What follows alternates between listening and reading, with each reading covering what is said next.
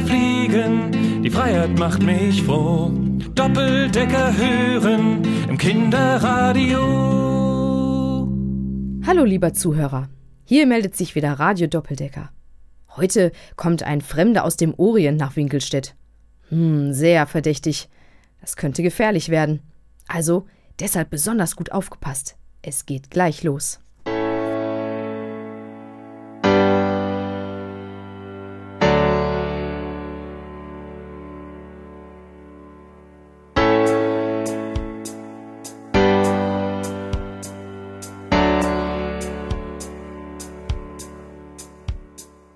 Der Flugzeughalle hört man ein Hämmern. Etienne versucht, Lottes Propeller zu richten. Beim letzten Flug hat er einen Knacks bekommen. Pitt hat im Flug nämlich eine Taube gestreift und dabei seinen Doppeldeckerpropeller beschädigt. Oh, du Pilzglück, Pitt. Schau ihr, die Propeller hat eine tiefe Riss. Beinahe du hättest nach so einer Karambolage verlieren können deine Flugtauglichkeit. Glückspilz? Von wegen. Weißt du, was so ein Propeller kostet? seufzt Pitt. Die Neuanschaffung wird ihn mehr als einen Monatsverdienst kosten. Da hört man Thomas und Alexander rufen. Sie kommen mit ihren Fahrrädern den Hang zu Pitts Flugplatz hochgebrettert. Pitt, Etienne, seid ihr da? Erschrocken treten die beiden Männer aus der kleinen Flugzeughalle. Was ist los? Gibt's anderswo auch Probleme? Und ob, die beiden Stolzenstein-Jungs lassen ihre Räder auf den Rasen vor der Flugzeughalle fallen und hasten auf den Hangar zu. Thomas berichtet aufgeregt mit fuchtelnden Armen. Da kommt gleich ein ganz schräger Vogel zu euch, irgend so ein arabischer Bombenleger. Der wollte angeblich ein Gastzimmer auf unserem Bauernhof. Gleich versucht er das bestimmt bei Tante Liesels Pension. Dann fällt ihm sein Bruder Alexander ins Wort. Aber wir, wir haben da so unsere Zweifel. Noch ganz außer Puste muss Alex jetzt erstmal eine Redepause machen. Deshalb erzählt Thomas schon weiter. Bei uns auf dem Bauernhof hat er den Nummer auch schon probiert.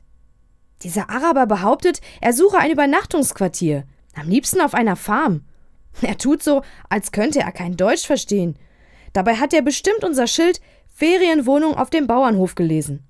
Aber unsere Eltern haben ihn lieber fortgeschickt. Ja, der hat total, total stechende Augen und so eine krumme Falkennase und, und sieht aus wie von einem Terrorfahndungsplakat. Schnauzbart, Fransentuch auf dem Kopf und so einen geheimnisvollen, bunt beklebten Koffer dabei und, und einen kleinen Teppich. Was? Ein arabischer Bombenleger? wiederholt Pitt. Wieso kommt denn der nach Winkelstedt? Das wissen wir auch nicht, aber er fragte bei uns auf Englisch, Can I have a room on your farm, please?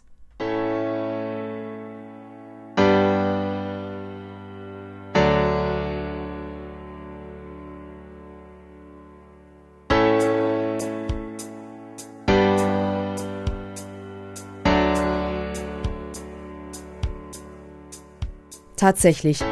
Als erster entdeckt Etienne den angekündigten Araber, der gerade um die Wegbiegung kommt.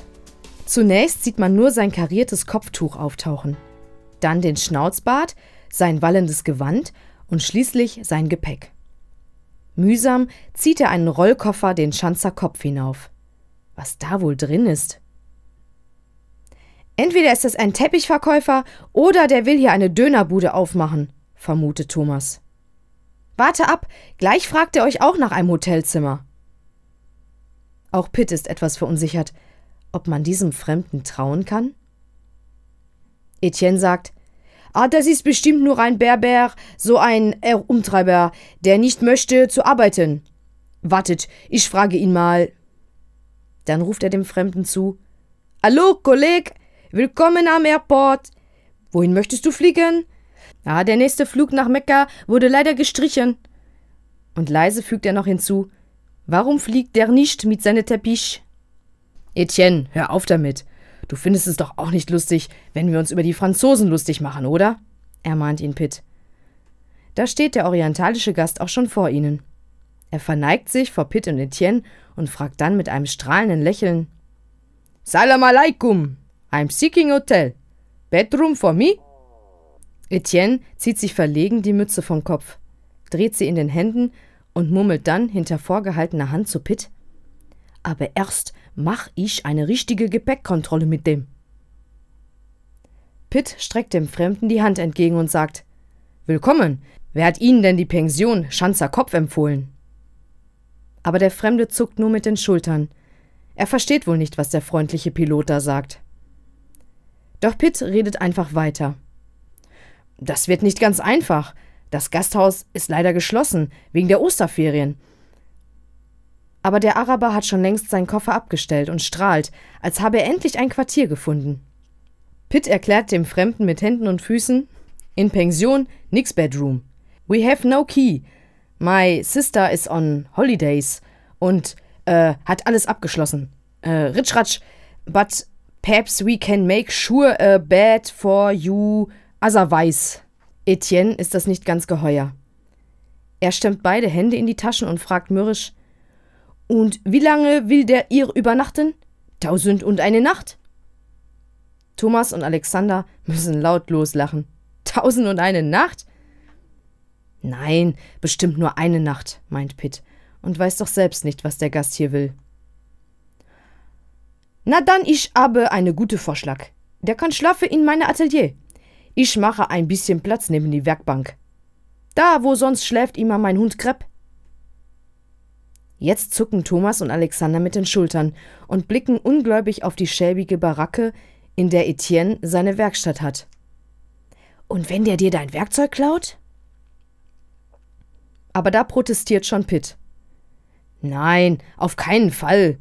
Niemals lassen wir unseren Gast in der Werkstatt schlafen. Ich kann gerne ein Bett in meinem Wohnzimmer herrichten.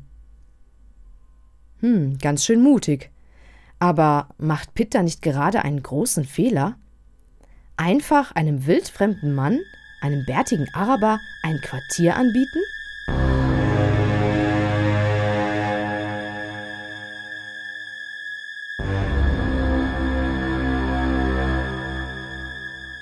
Wenig später sitzt Pitt mit dem Mann aus dem Orient bei einer Tasse Tee im Wohnzimmer. Etienne schaut ab und zu besorgt durchs Fenster. Sind Sie Asylant oder Tourist? will Pitt wissen. Aber der Besucher antwortet nur in einem sehr gebrochenen Englisch. Meki al-Kabat, nix Tourist. Meki al-Kabat, Prokurist. Aber diesmal ist es Pitt, der den Sinn nicht versteht. Geduldig schmiert er dem Ausländer ein paar Brote und macht ihm ein Bett auf dem Sofa zurecht. Der Fremde klappt unterdessen sein Handy auf und telefoniert wild gestikulierend in arabischer Sprache. Pitt wird es dabei etwas mulmig zumute. Was wird da gerade besprochen? Wem gibt er da Kommandos? Was ist das nur für ein merkwürdiger Besucher? Pitt schnappt nur ein paar Fetzen auf, die nicht arabisch klingen. Airport Schanzer Kopf, und Imperial Stahl. Leise betet Pitt zu Jesus, dass er keinen Fehler gemacht hat und Gott diesen Araber in seinem Haus segnet. Dann zeigt er dem Besucher noch das Badezimmer, verabschiedet sich und wünscht ihm eine gute Nacht. Am nächsten Morgen wird Pitt von einem ungewohnten Geräusch wach. Es klingt fast wie Theos Trecker, nur etwas gedämpfter. Sofort springt Pitt aus dem Bett, stößt die Klappläden von seinem Fenster auf und schaut hinunter. Dann sieht er, wie ein glänzendes Fahrzeug auf den Hof rollt. Eine tiefschwarze Limousine. Ist das nicht ein Rolls-Royce? Hastig zieht Pitt sich an und schaut dabei auf die Uhr. Es ist erst sieben Uhr in der Früh. Sofort läuft er die Treppe hinunter und schaut ins Wohnzimmer. Aber der arabische Besucher ist schon verschwunden. Er hört nur noch, wie der riesige Schlitten davon braust. Da kommt auch Etienne über den Hof gespurtet, im Schlafanzug. Piet, hast du gesehen, das monströse Karre? Was war das für ein ausländisch Automobil? Aber Pitt kann auch nur vermuten. War das vielleicht ein Taxi für unseren arabischen Besucher? Er hat gestern Abend noch mit einem Kumpel oder so telefoniert. Da geht Etienne ein Licht auf. Ah, der macht sich aus dem Staub, wenn alles noch in Bett. Schau besser sofort nach in Appartement, ob die Silberlöffel und dein Spardose noch sind an ihrem Platz. Hm, da hat Etienne natürlich recht. Sofort laufen die beiden in die Wohnung und sehen nach, was der Besucher wohl angestellt hat.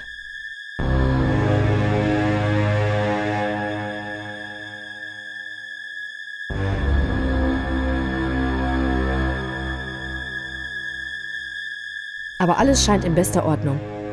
Das Geschirr von gestern Abend ist zusammengestellt und sogar das Bett ist gemacht. Da entdecken die beiden einen Zettel auf dem Wohnzimmertisch. Sorry, I'm back soon. Mackie Al-Kabat. In der Tat, I'm back soon, bin bald zurück. Kurz nach dem Mittagessen rollt der tiefschwarze Rolls-Royce wieder auf den Hof. Am Steuer sitzt ein weißhaariger Chauffeur und auf dem Rücksitz der Araber. Aber diesmal nicht in orientalisch wallenden Gewändern, sondern in einem tadellosen Anzug mit goldener Krawatte. Neben ihm tippt eine herausgeputzte Dame auf ihrem Laptop herum. Als Etienne die Frau entdeckt, sucht er sofort hinter einer Mülltonne Deckung.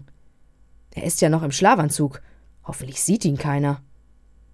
Da öffnet die Dame das Seitenfenster der Limousine und sagt in flüssigem Deutsch Guten Tag.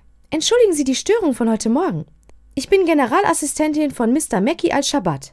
Er hatte leider um 8 Uhr einen Termin bei Imperial Stahl in Stolzach. Sind Sie der nette Herr, der ihm ein Hotelzimmer gab? Pitt bleibt die Spucke weg. Doch da ist Mackie al-Shabat auch schon ausgestiegen und drückt kräftig die Hand des verdatterten Piloten.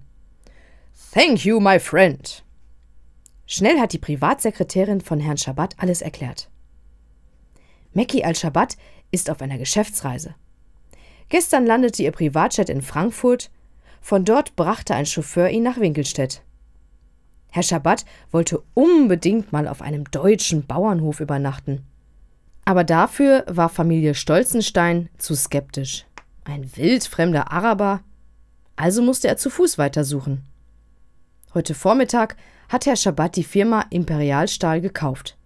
Das ist die größte Fabrik von ganz Stolzach. Die machen Auto- und Flugzeugteile. Mr. Shabbat ist ein Ölmilliardär aus Dubai. Das gehört zu den Vereinigten Arabischen Emiraten. Das liegt, grob gesagt, zwischen Ägypten und Indien am Persischen Golf. Wer hätte das gedacht?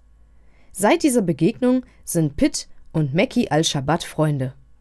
Er hat Pitt sogar nach Dubai eingeladen. Der reiche Scheich hat Pitt auf eigene Rechnung einen neuen Propeller anfertigen lassen und ihm einen Scheck für die Übernachtung überreicht.